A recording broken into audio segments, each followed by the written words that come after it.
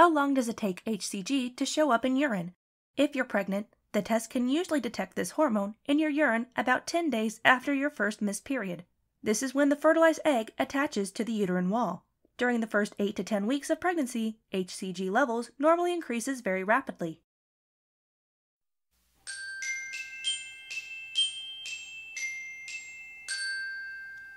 Can you be pregnant without HCG?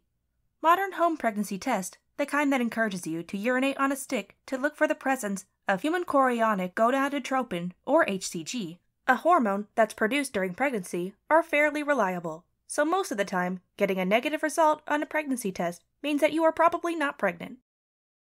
Make sure you subscribe, turn on the notification bell, and I'll see you guys in the next video.